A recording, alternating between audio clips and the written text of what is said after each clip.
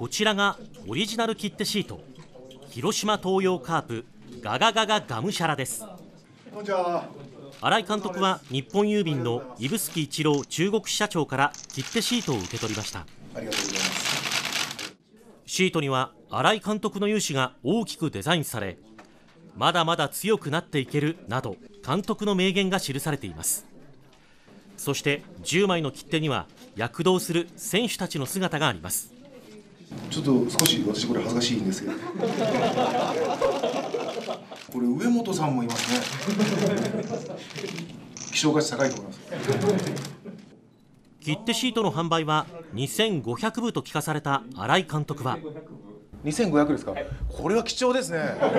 2500もう秒で売り切れるんじゃないですか。しっかり頑張って、えーファイナルそして日本シリーズへ、えー進めるように、えー頑張りたいと思います切手シートは明日から県内のすべての郵便局と山口県岩国市の一部の郵便局で販売されます。